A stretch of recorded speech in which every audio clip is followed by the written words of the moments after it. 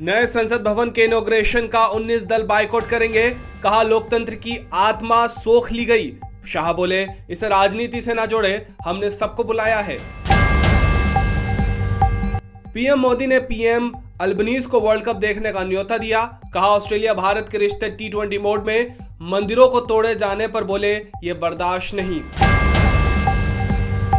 WHO ने कहा, corona का खतरा टला नहीं है, नया वेरिएंट या वायरस आ सकता है, ज़्यादा जानलेवा महामारी के लिए तैयार रहें।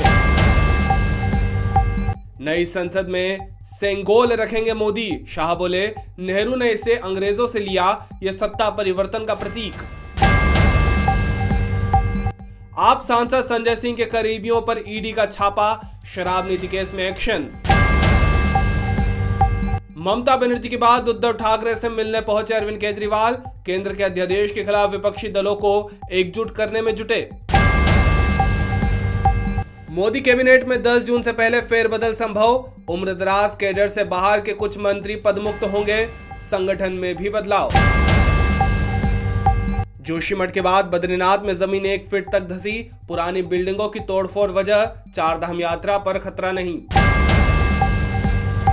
रांची पहुँची राष्ट्रपति द्रौपदी मुर्मू, शाम में हाईकोर्ट के नए भवन का करेगी उद्घाटन। कश्मीर में जी ट्वेंटी मीटिंग का आखिरी दिन, विदेशी डेलीगेट्स ने योग किया।